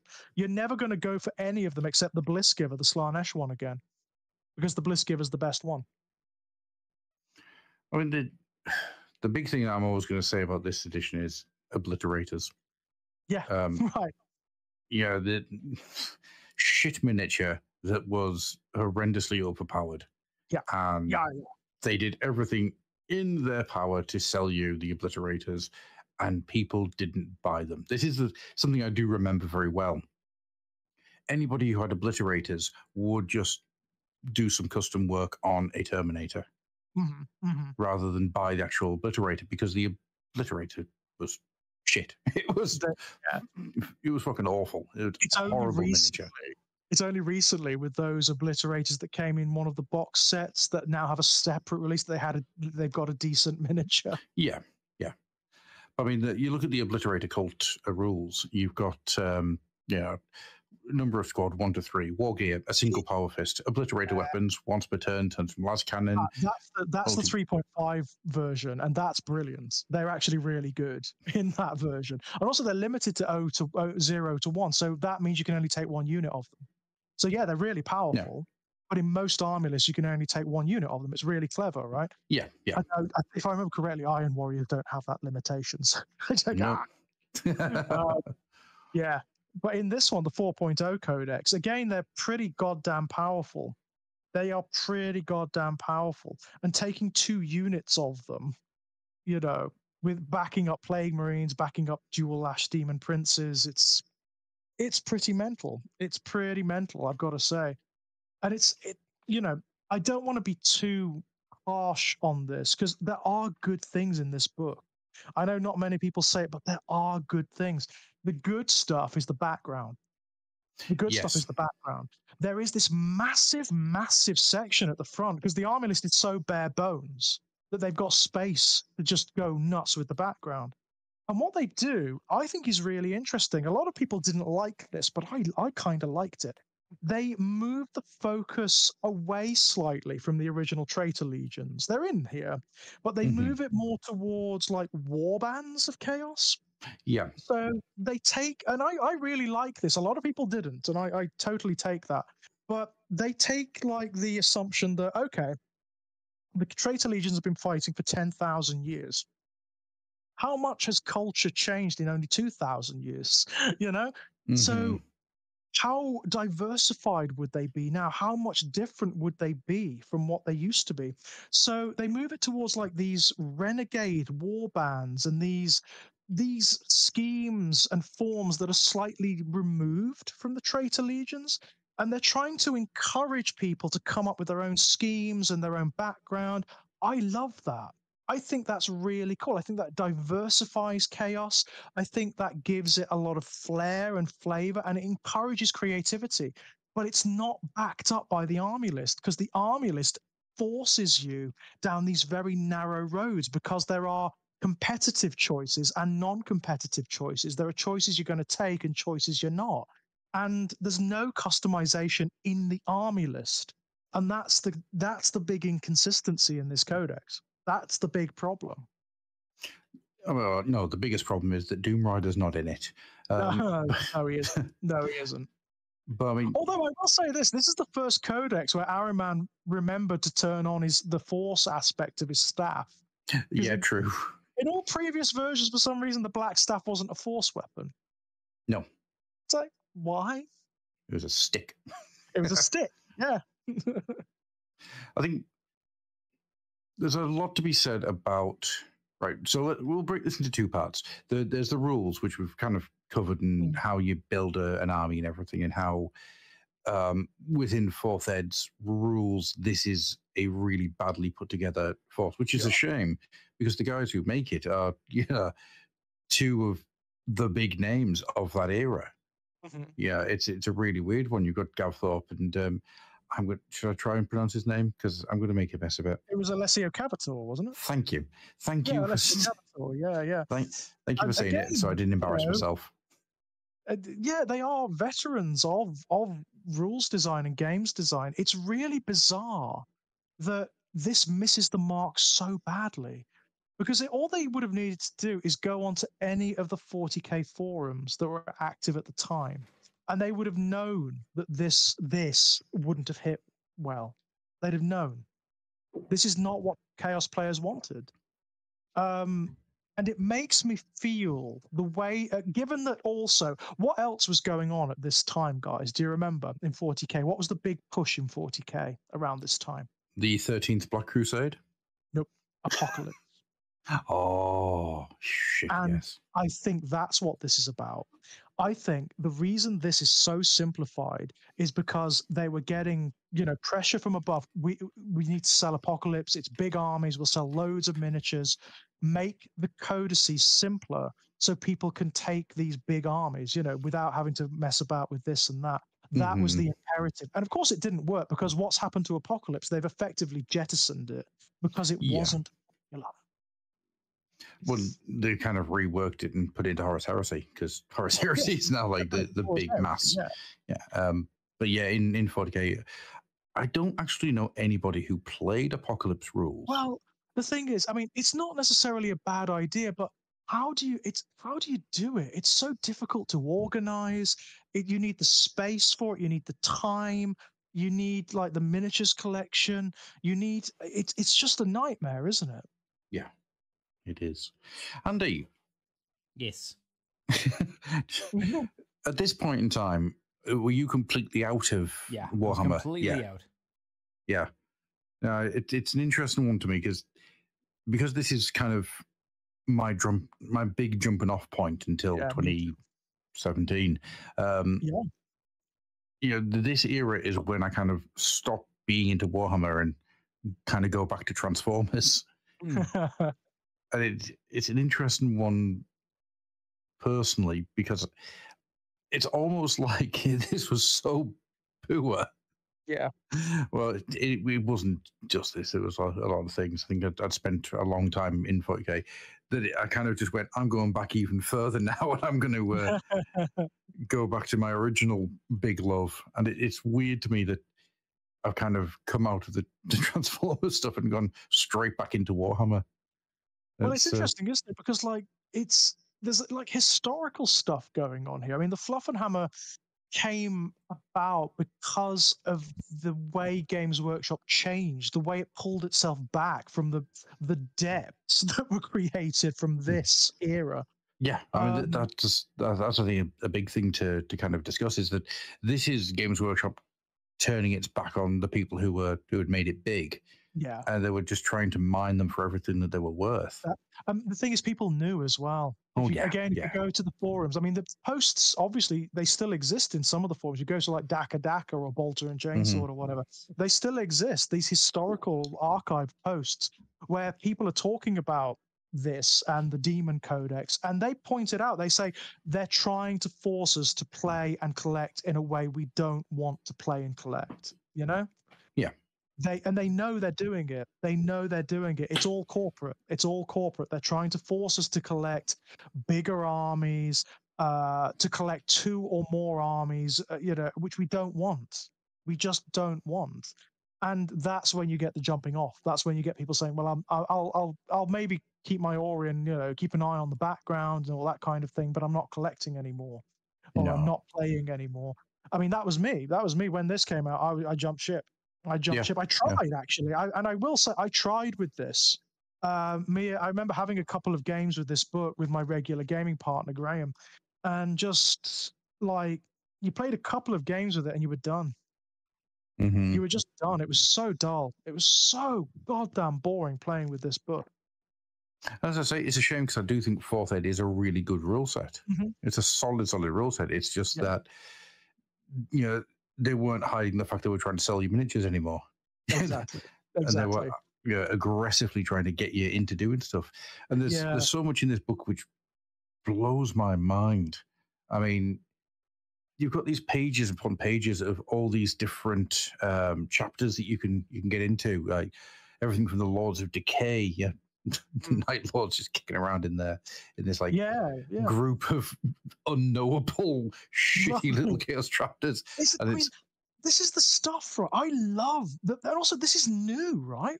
Yeah. All this stuff where they've introduced like the, the little renegade chapters and the little warbands, it's new. For the first time, they're not just recycling the background from Second Ed, which is what pretty much every codex up until this point did. And that's brilliant. I mean, I that's the that's the ambiguity of it, right? I love the fact that they did that. And also, this book has a really interesting section where it talks about the psychology of a chaos space marine. It goes into real detail about Mhm. what happens to a chaos marine, or rather to a, a space marine when the psycho indoctrination starts to break and they start to realize, hang on, this is bullshit, isn't it? You know, I'm I'm being used basically. I'm a I'm a weapon for this hypocritical, theocratic, fascist empire. and they break down. They they have these dark nights of the soul where they lose everything, like uh, all everything that they were conditioned to believe, everything they were remade to believe is ashes. Mhm. And from that, that's where they start to rebuild themselves, some sense of their identity. And that's what usually leads them into the arms of chaos or into becoming like renegades or whatnot. That was this is really the first time, it's the first book to really go into that kind of detail about that kind of thing. It's just such a shame that like you've got all this on the one hand, you've got this incredible quality in the background. And then you've got the army list, and the army Yeah. list is just so bad. It is. I, I would go out on a limb and say it's probably the worst army list they've ever made. I would go out on a limb. I think it is Mm, really awful. I mean, like genuinely frigging awful. I mean, I'd be hard pressed to argue that. Um, Well, I mean, really, it, it's hard to really good. argue with because it jettisons so many people from the game, yeah, from yes, the that's hobby, true. you know. yeah. It it's interesting to me. I mean, I'm wondering how many people who listen to this, and if you do listen to this, and Mhm. um, this did happen to you, how many people jumped off at fourth? Yeah, Mhm. just just generally. Yeah, you don't have to be a Yeah. chaos player, but I want to know That how many people jumped off actually. jumped off at That fourth. would be interesting. how many people got in at fourth? You know, that's, There was yeah, and there was good stuff happening in fourth. Was it in fourth that the Dark Eldar had their big renaissance, where they were like complete? They had their new codex, and they were complete like their their background was rewritten, their aesthetic was changed. That was brilliant. It was Phil Kelly who did that, wasn't it? it was. Yeah, That was brilliant. good old Phil Kelly. Yeah, Phil Kelly, right? That was awesome. That that codex that rejigged the Dark Eldars slightly and made them more like Cenobites, basically. That's what it did. It made them into Yeah. science fiction Cenobites. That's a really good book. It's really, really good book. But again, it really does demonstrate the disparity, right? The way each there's no standardized format for these things So- no. each codex is a fucking experiment, which means inevitably you've got good ones and you've got bad ones. You've got ones that work and ones that don't, ones that have got this design philosophy, ones that have got that design philosophy. It's very irritating. I'm trying to think. Is this the era of the Matt Ward Ultramarines book, or does that come later? I'm just trying to I remember. think it is. Is it, I think it is fourth ed, isn't it, guys? Chat, do you know? Is it fourth ed or is it fifth ed? I've got a funny feeling it's late fourth ed, you know. Yeah, I think you might be right. It definitely wasn't out when I came out of 40k. Hmm. Um, I came back to that after the fact, but I'm just trying to remember. Do you I do remember it. I do remember it. And again, it was mm, it was naff. it was really naff. I remember So it do this really remember- weird- again, it, it, that book had this really weird thing where in order to make a chapter, like an army, a particular chapter, you you were forced to take a particular character. It it was just Mhm. weird. It was weird the way it worked. Again, it's this locking in the rules to the miniatures, you know, which never works. It never works. If you're forced to do shit like that, it just makes making the army list boring. Yes. Um, I've gone down a rabbit hole here. I'm trying to find. Oh my word! It still exists. Holy crap! So, in the early to mid 2000s, right, that was my forum back then Mm. and I've discovered it still exists. Um, unfortunately, none of my posts seem to have survived, uh, which is a bit of a shame. Because what I was trying to find there was my when I bought the Tyranid book. Ah, Um, because I remember the Tyranid book at this era being both amazing yeah. and absolute knackers. It It was, was- a step it up from the third ed one because the third ed one is a it's a freaking pamphlet with barely anything in it, and it's Mhm. awful. And I there's a lot of stuff you could use from the third ed one, but it was so poorly put together. It was very Mm-hmm. hard to work it out. The fourth ed one had tons of customization. Yeah, like there loads. was so much customization. You could do anything. Yeah, you could do really that's good. wild things, couldn't you? Like putting venom cannons on genestealers and stuff like it was crazy, right? Biomorphs just everywhere. Yeah, which in a lot of ways is the exact opposite of this book of the the chaos Uh, uh, right, Chaos right. It it's is- much closer to this. Yeah. It's much closer to this design philosophy, right? It's a- really weird one so that makes me wonder did they just assume that tyranid players weren't going to be playing apocalypse Right, right. Because a Tyranid army in Apocalypse using that codex would have been insane. Yeah. To organize, it would have been a nightmare. So you'd have to sit there like and think think about how big Tyranid units were if you're taking like a swarm style army back then. You'd have to sit there thinking like, so who's got this biomorph? Who's got the the venom cannon biomorph? Which oh god, nightmare. yeah uh, the the matt ward one was uh fifth ed i think so that would mean that this one would be the space marines one that ultramarines are full on there as the quintessential space marine chapter Mhm, mhm. but they're not Oh, like I'm, I'm with you, the super best one. The, the, the one Diaz demonettes that are up on the screen now, they're the best. They are the best demonettes, definitely. oh andy good, God, I good love them. good find I love- that's uh, I love those demonettes. hmm I mean, I tell you what, the current ones need replacing. The current ones, because you know, funnily enough, the current lot of demons across the range, you know, the uh, the certainly the um the the the troop demons, your plague bearers, your bloodletters, your demonettes, and your pink horrors, they're from this era. They came Yeah. out alongside the demon codex that was the sister codex to this. ah of course So, and they've been in in use in both AOS and 40k ever since then. So they need replacing. Seriously. Here's a question for you. Mhm. What out of the fourth ed Chaos Codex book Mhm. would you keep in a modern day setting? I, would the background primarily. All of this stuff, the diversified stuff, where they talk about how the the traitor legions do still exist and they are Mhm. still organized forces, but there are loads of schisms and splinters, and there are loads of like individual war bands that are broken away from them, and they form their own little cults and their own little like traditions. That I would keep.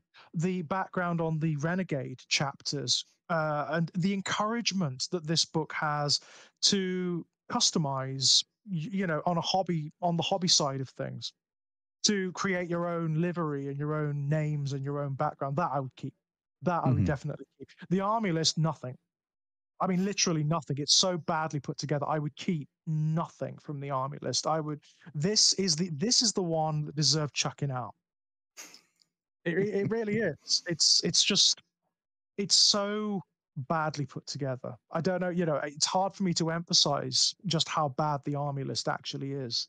Like how internally inconsistent, how boring. I mean, that's the cardinal sin, right? For any hobby thing, for any created thing, it can be bad if it's interesting. You know, Yeah, yeah. things can be bad and interesting and bad and fun. This is bad and boring. We've I'm all seen enough. Hellraiser sequels to know that that is Right. absolutely the truth. Absolutely. Yeah, Hellraiser 3, Hell on Earth, it's shite, but it's loads of fun. Loads of fun. this is not that. This is No. not that. This is just it's dull. It's dull, dull, dull, dull, dull. And there's a reason why. You know when they ever do like the big 40k retrospectives when they do the anniversary stuff in White Dwarf, hmm they always miss this out. Always. It's never even mentioned. Not once. No pictures of it, nothing. It's amazing. They In the- skip straight from this to the sixth ed Chaos Space Marine book. hmm It's hilarious. It's absolutely hilarious. They know. They know. Oh, They so- absolutely. Yeah, absolutely. I mean, I think the the amount of damage that that book did to 40k as a brand is Mhm. you know, it's very apparent. incalculable. Oh, It yeah. is. It is very apparent because again, people didn't start to crawl back until later. Until like seventh ed, the end of seventh ed, when you started to get the Genestealer cults coming back, Mm-hmm. when you started to get the uh, when we got the Thousand Sons back, Mm-hmm. bloody hell, when Magnus returned, of course, that's when things started to turn around. And I will say, you know, to, get past the negativity and whatnot, since then, it has just been escalating. It's been uh, like the eighth ed Chaos Space Marine Codex, brilliant. 9th ed, even better. Tenth ed, I haven't done my Ages of Chaos on this yet. And the reason I haven't done it is because I want to do it justice. This, I, I will say, is the best Chaos Space Marine Codex since this one. Best one since 3.5. Yep. by a country mile. By a, Wow. cou- you know what it does? Do you know what it does? It takes the philosophy of this one, you know, the mm-hmm. background stuff where it wants you to do your own thing. It wants you to do, it wants you to come up with your own background and your own chapters and your own narrative. But it also it, it makes it possible in the army list. It bakes that into the army list and not just into the background. So this is the one that succeeds. This is the one that succeeds. It's a really, really, really good book. I mean, I'm, I'm, I think, yeah, as I said, best Chaos Space Marine Codex since 3.5, insofar as I'm concerned. Really bloody good stuff. And I'll Oh, tell you what, cool. they play so well. Oh, they they are great. Chaos Space Marines in this book, so good, so good. There's hardly, you know, the thing they've done with 10th Ed where they've tried to prune away redundancy. So that, yeah, Rufus, I know, sorry, she's having a go at me because I'm up too late. Um, that's that's what they've done here. Everything works. Everything works, you know? All of the detachments are good. All of the units have a place and a purpose. There's not like one unit you would take over another in the same slot because they all have their own unique functions. It's it's a it's a really excellent piece of work. This book, I am so impressed. And if this is the way chaos is going to be in tenth, then yeah, I'm very pleased. I'm very pleased. I'm going to uh, put a little thing out to the um, the chat as well. If you're uh, in the, the current chat, if you're not in the chat, then you can't take place in this. So um, come come join the chat. Uh, not that you'll hear this now. Obviously, you'll hear this in the future. But uh, No. just know that in the past, you could have joined the chat. Um, guys in the chat, what about you guys? What out of fourth ed, uh, 40k Chaos Space Marines would you have kept? What would you have wanted to see evolve? Is there anything that you'd like to have seen just carry on? You know, let, just as a positive, and also in the same way, what was the single worst thing for you guys in that book? Because I really want to know. Um, just write it down in the chat, and we shall read that out shortly. There's a, Think- there'll probably be a loss. And the the other question, of course, I've got is Andy, Chaos Space Marines in general. Yeah. Right? Has, have there ever been a uh, an army that you've been interested in? Has there ever been a point where you thought, actually, I really would like to do a Chaos Space Marine force? Uh, uh, not particularly. I think the the models were always nice, and I like the background, but they they always uh, felt like the the basic choice to go for, like the Ultramarine kind of choice. You go, oh, well, if you you know again to Warhammer, you get Space Marines or you get Chaos Space Marines, and that's kind of the two choices, the the main focus you go for. So they, they Mhm. were never Where's- something I, I was desperately interested in.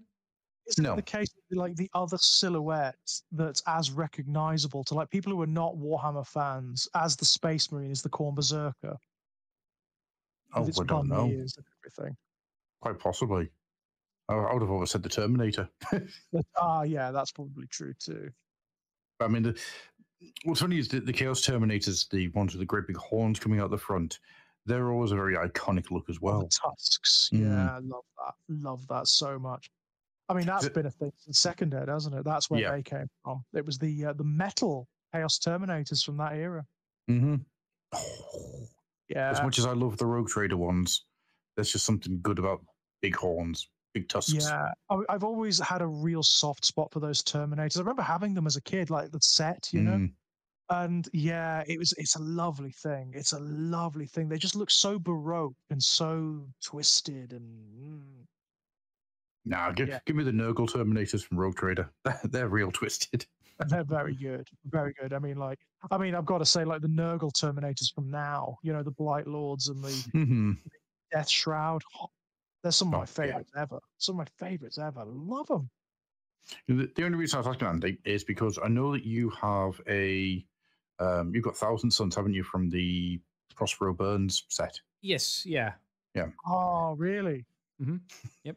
Ooh, I mean, they're just 30k for the most part, so there's nothing super so there's chaotic nothing about them. about them.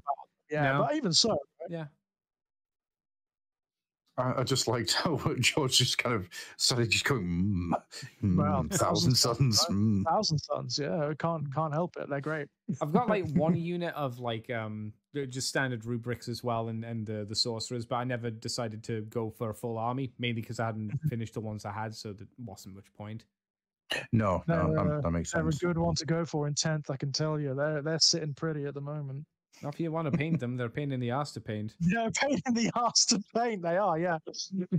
they're, they're basically like the Eldari of the Chaos Yeah. Forces, aren't they? in that regard? They've got loads of like elaborate stuff all over them. Stripes, loads of gold. Don't Yeah, mess it up. Yeah, yeah. Were you going blue and gold, or were you doing the um, the red? I was doing red. hmm Yeah, classic Prosperine, uh, Thousand Sons. Yeah. God, Andy, I'm so sorry. if if I could send somebody round to paint all your Thousand Sons for you, I would. No, it's, It's it's, it's, fine. Uh, You know, I I, I liked uh, the Prospero Burns book, so it was my own fault. Mhm. oh, and it was a nice box set. Absolutely Yeah, beautiful box set. Oh man, I just kind of wish it, it's a weird one because I've never really done Chaos Marines.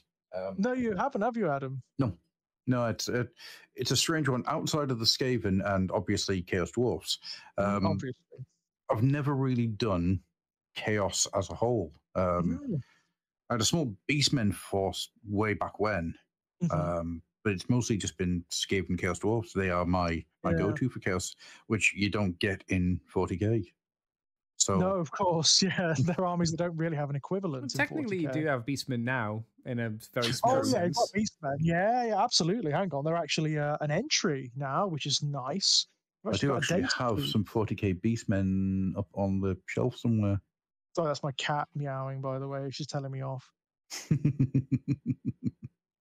There, you are, yeah, Fellgor Beastmen. They're actually uh, units in the Chaos Space Marine Codex now, which is lovely. Out of interest, Cool. Is the um the Gellerpox in that book? They're not. be. Really? No, They're not. Do you know Mm. where they're going to be? That might be in the Death Guard book. maybe, Hmm. maybe. They might be in the Death Guard book. Because but no, that- not. That's the thing that would get me into doing a Chaos Space Marine army currently. Or having would be yeah. just having a, a yeah, Gellerpox, Gellerpox, pox, just, just having a pox on both your houses.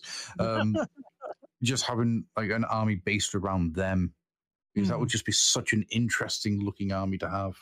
There's some weird, there's some weird rumors floating around about the way, like the the cult Chaos Space Marine armies are going to manifest in tenth. A lot of people are saying that, you know, the um, the much maligned decision to separate demons from Chaos Space Marines, um, which started here.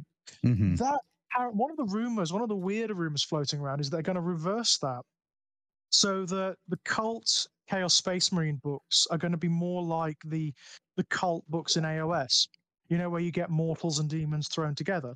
So the, apparently, and you know, this may not be true, it may not pan out, but apparently, your Death Guard are going to have Nurgle demons in their book, and Thousand Sons are going to have Tzeentch demons in their book, and so on and so forth.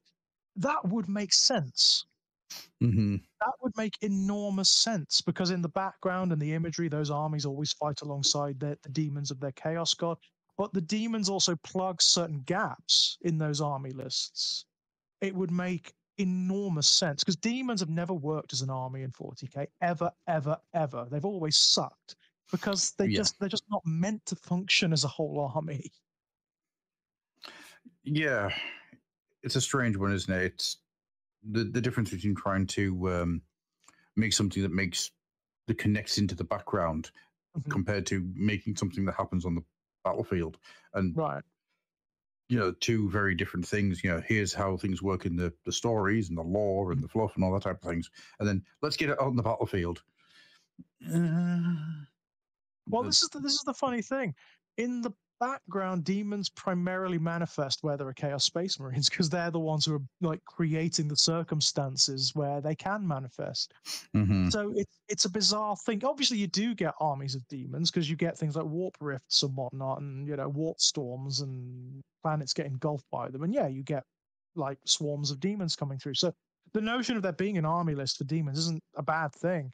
It's just it's never been done well. It's never worked. No, no. Demons suffer badly in 40k because they're primarily a close combat army. hmm And 40k is difficult for close combat armies unless they're really well balanced, like the World Eaters. The World Yeah, Eaters yeah. work really, really well. Um, oh, trying to think of others that, that actually function properly. Some of the Eldari builds work really well. they're the Eldari and they're broken, perpetually broken. What is it about the Eldari and Games Workshop's inability to balance them? like every edition, whenever they come out, they're killer. Every single edition, they dominate. I think it's purely down to the fact that um, the design studio love the Eldari and they want to do I- lots of interesting stuff with them. I And sort of then- see why, you know, I get that. And then it gets to like the miniature designers and they're all like, fucking what? No, Yeah. please, please don't make me do this. I want to I mean, make Rat with you know, that's the other rumor that's floating around. Apparently, your new warp spiders, uh, we'll see, Mm. right? And even apparently a Phoenix Lord for the warp spiders for the first time, because there must be one. There if- was. If there's a shrine of of an aspect, then there's got to be uh, a Phoenix Lord. There was. There was in the second edition 40k, I'm sure of it. No, there wasn't. No, there Right. wasn't a, a warp spider Phoenix Lord. No, there's never been one. For some reason, there's never been one. There's not even a mention of one, No. which is really weird. What am I thinking of? Achra, maybe you may be thinking of like the first striking scorpion uh, Phoenix Lord, who was actually uh, Karandras. That's what I'm thinking of. I'm thinking of Karandras, the Roth thinking of- spider. who's that? Oh, we are going back now. I was going to say, what's that?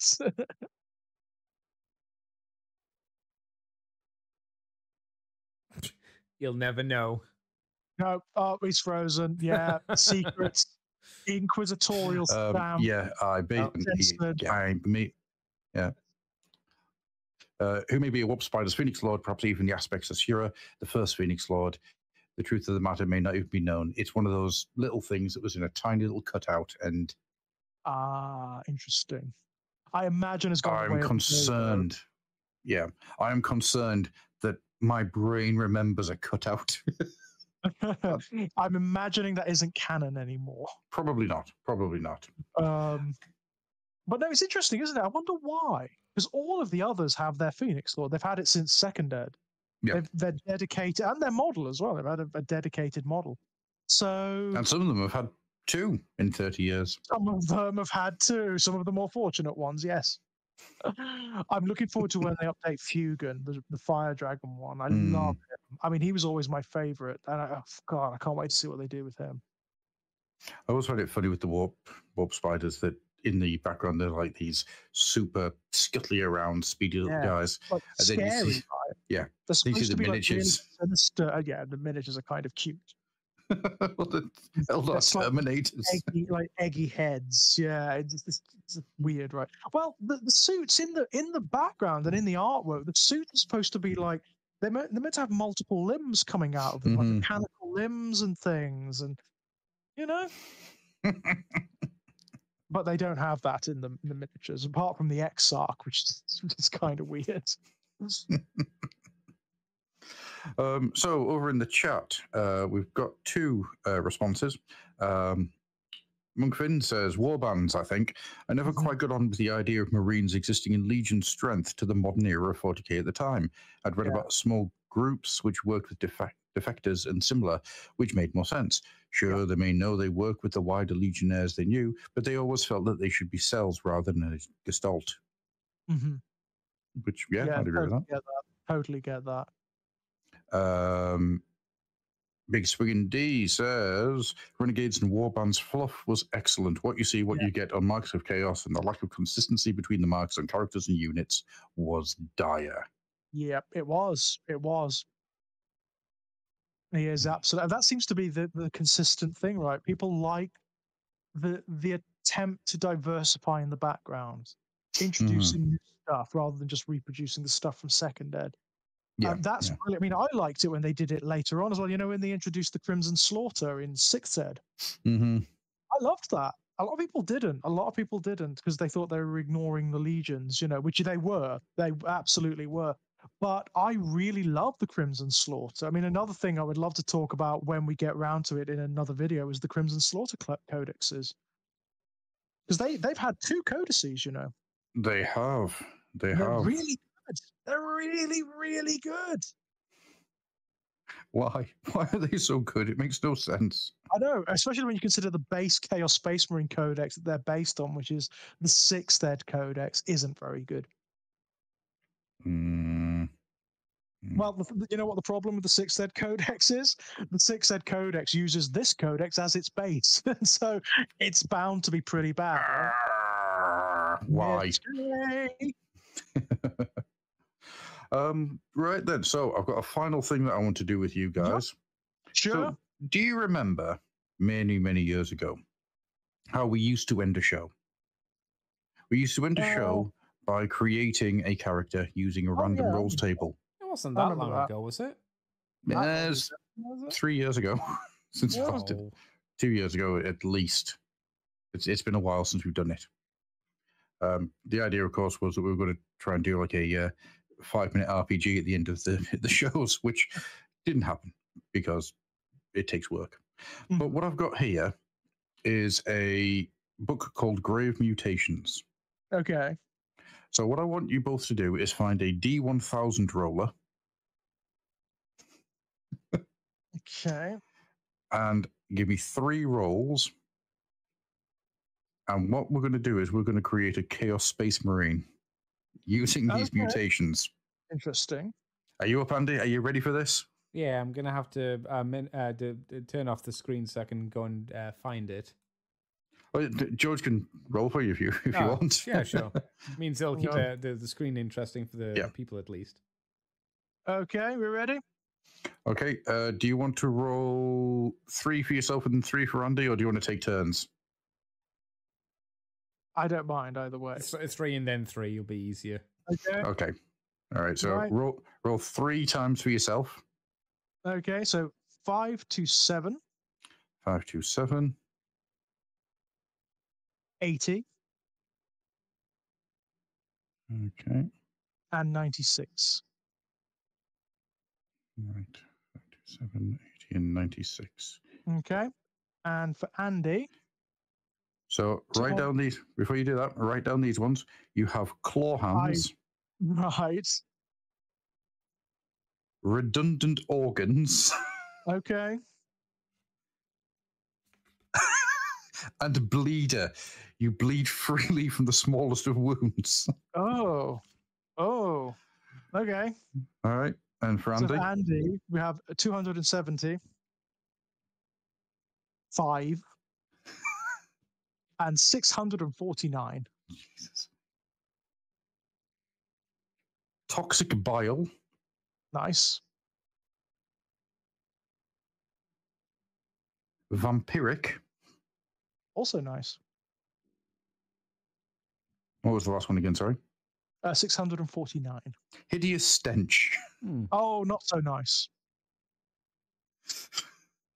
Actually, Andy, that's that's that's basically like a, a kind of vampire. That's an undead thing. That's you, isn't it? Yeah, pretty much. Yeah. Oh shit! It's- aye, yeah. That's not Yeah. so bad. Actually, Pretty, that's kind of accurate. rolling. Yeah. Yeah. So uh, they they are your chaos space marine. So what, what have you got? What what can you do with them to turn them into a chaos space marine Well, of your choosing? Wounded and hor- he's got to be a plague marine, right? He's got to Mm. be a death guard. He's got to be a Nurgle worshipper of some description. He's got, you know, he's got an, he's got a disease that makes him bleed all over the place. He's got organs all over the place, and he's got hideous encrusted talons. Yeah, he's a Nurgle worshipper of some description. As is mine. I mean, it's got Mm. toxic Yeah. bile and a hideous stench. I mean, it's kind of Yeah. prerequisite, uh, prerequisite really. Absolutely, yeah. So two Nurgle worshippers, please. Two just two. of Nurgle. Yep, just two members of the Death Guard. Oh, oh well. If either, you know, Andy, if you do start developing like trilobes of boils or something over the next couple of days, No more than know- usual. well, yeah, of course. Basically, don't blame me. I'm, I am not to blame. You can't blame me for any of this. well, it's fine. You know, it will hurt for a little while, and then you'll grow to love it. So it's it's fine. Ew. No. That's what Papa Nurgle does, right? I've told all my It's dates that as well. They've never agreed. There is uh, one last thing from the book I've just noticed.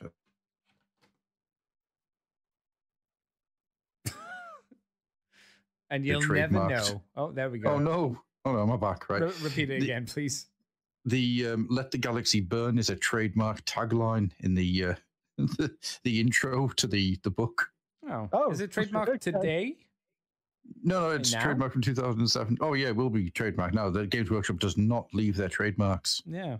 So was this the first time that they had the trademark? It must be. I've never seen that before. I've never wow. seen. It actually says "Let the Galaxy Burn" tag in their list of trademarks. Let the Gary burn. Yeah. Let the Galaxy burn.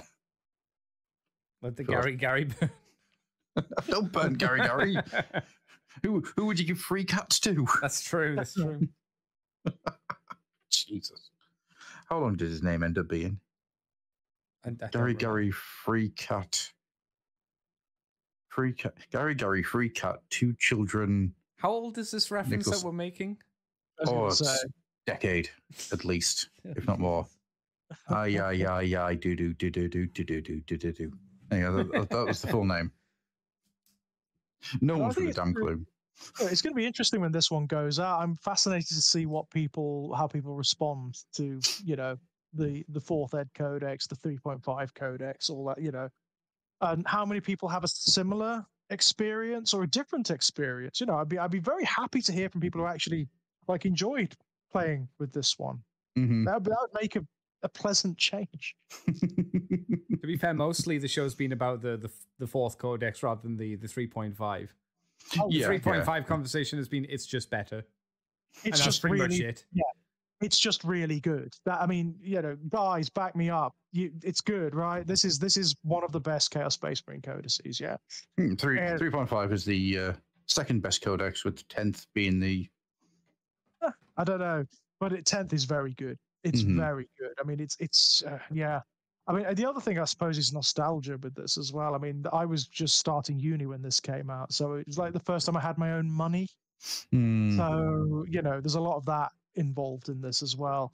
And being out in the world and actually playing with this down at the local games workshop was loads of fun. So there was all that.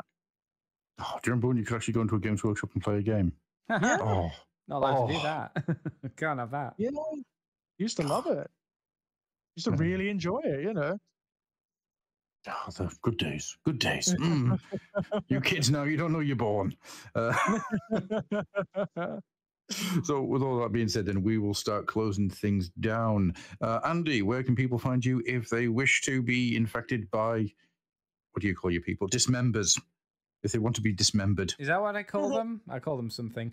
Uh, you can find me on YouTube and, and Twitch here. Uh, well, you you probably find me on Twitch if you're watching the stream. Uh, it's Decayed Andy, uh, and it's the same on YouTube as well. Also on the Moonbase 2 podcast where we talk about Transformers every Sunday live, or you can just uh, download us Moonbase 2 Transformers podcast. We're still going. Yeah. You are. I mean, at this point in time, it's a Herculean effort. Brilliant. And honestly, I, I take my hat off to you for keeping that going for as long as you, you have done. Pure stubbornness, nothing more. but honestly, I think you need to be in the Guinness Book of Records at this point. Yeah, long longest continuous Transformers podcast. Yeah. I, I, I- is that true? Because I don't. I think some of the American ones uh, are longer running, but I don't know. Radio Radio Free Cybertron would be longer, but they took a six year break. Yeah. So Yes, you that know, doesn't count. Six year break is a stop. That's a you Yeah. know, that's a stop and a start. yeah, and then they they came back during that big push of Transformers podcasts in 2008, 2007 to 2009. Mm. Hmm. There was a, a thing on Facebook the other day that uh, uh, mutual friends Nicole and Slick were just re- reminiscing about the random fandom, the show that they used to do. And Phil just going, "Oh yeah, podcasts. Do you remember who does that?" it's just me and Andy going, Yep. "F- f- excuse me." Yeah, never stop. never stop. I remember those.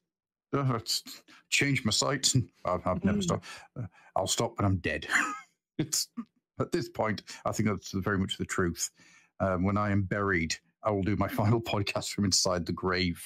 Oh, you could do seance podcasts. You know when they do Mm. like uh, Ghost Adventures and other. You could get uh, Derek. Acor- well, uh, I assume Derek is probably going to be dead before you. Uh, He's dead he's- now. He's dead now. Is he? Oh, he could have said, "What's Groff saying?" He's saying, "Suck my dick." He's telling me to suck my dick. Sick I mean, your I'll come dick, back. Gruff. I'll, I'll come back Uh, just to make Derek Okora say that. But uh, oh, no, I'll come back dragging Di- Derek Okora's ghost with me. yeah, apologize, you fucker. Apologize, you fucking bastard. Come on, ghosts aren't real. Tell him. Tell him. Yeah. One of the Even funniest are, things. you could bloody channel, channel them, you you know, completely changed the metaphysics of the reality to get you to come back from the dead to Yeah. apologize and tell people there aren't ghosts. Um, one of the funniest things that's come out from the interview, well, interview, the conversation that we had with Snipe and Wib has been Uh-huh. that everybody just wants us to, uh, like those two and those two, to just do a ghost hunting show on YouTube with them. Oh, I am so up for that.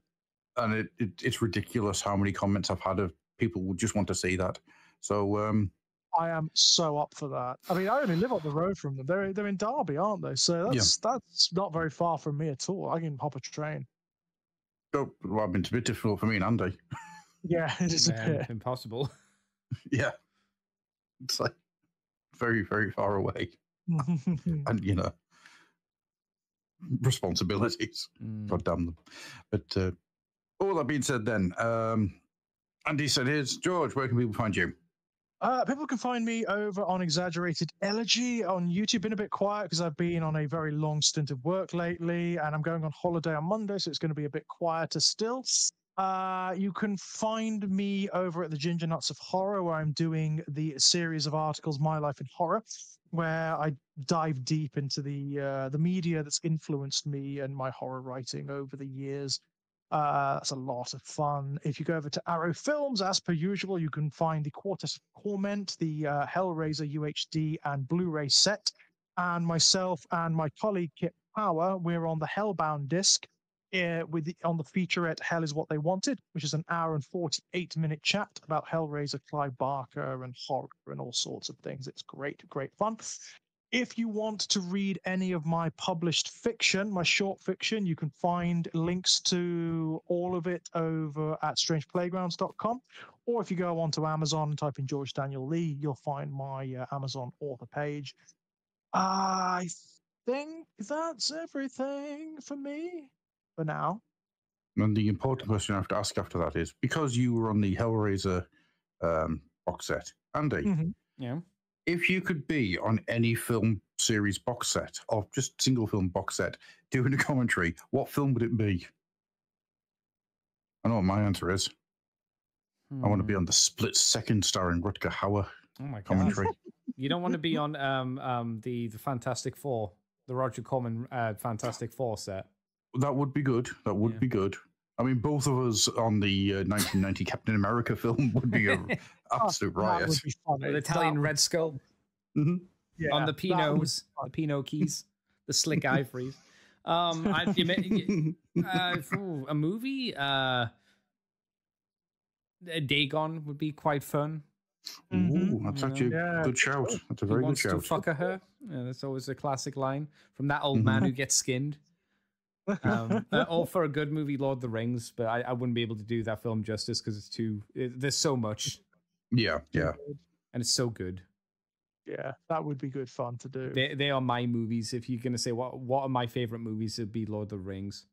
Mhm. You've done a Dagon commentary track. Yeah, we did. Yeah. Yeah. A long time ago. Yeah, We um Lurkers the, in the, Lurker- the lobby. Lurkers in the lobby, yeah. When we did the um because both of us were bored shitless with the uh, the horror movies of the time. So Yeah. we were we just went back and we found every single H.P. Lovecraft. We didn't do Uh, every single one. We did No. most of them, uh, and There we was a did a lot of bad do. ones. Oh, Most- most of them. them. bad. It's, it's, Most it's so of them, yeah. interesting. It's so interesting. Like the better Lovecraft films are the Lovecraft adjacent ones. Mouse Rats in the Madness. Walls was good. Like, yeah, you- I enjoyed Rats in the Walls. good. Yeah. yeah, Rats in the Walls is good fun. But yeah, stuff like In the Mouth of Madness, um, The Void, that kind of thing. The thing, obviously. The thing, Mhm. obviously, Alien. Alien, Mm. obviously. You know, Alien is Technically, totally we could do a uh, a Locust in the Lobby return for the the color of uh, space. Color of Oh. Space. Yeah. Yeah. Oh, um, yeah, the Nicolas Cage one. Yep, that's really good. And then there's I the that. um, I like that a lot.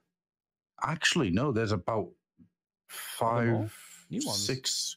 I would say there's about six films that have come out since then. Hmm. Since we did that that series, that would actually be worth watching. There's the one about the the elder god hiding in a um, uh, toilet stall, which is honestly it's it's an What's amazing called? film. I'm trying to remember. Um, yes, I know this. It's um, It's got uh, J.K. mm, Simmons. Yes. um, oh, what was it called? Hang on, Uh, I can't elder god very good. It's very In- good. toilet. No, no, that's a lot of AI pictures. That's a lot of AI pictures. Yeah, Why am I getting no. 40k elder gods in toilets? Huh. There's That's also not what- there's also Batman versus Cthulhu. Uh, Glorious. What is it called? I haven't heard of Glorious. It's called it's called Glorious. Yeah, yeah. Mumford's just uh, yeah, very. It's it's worth a look. It's worth a look. Mm, I really, really enjoyed it. And then there's the one about the guys going back to the cult that they grew up in.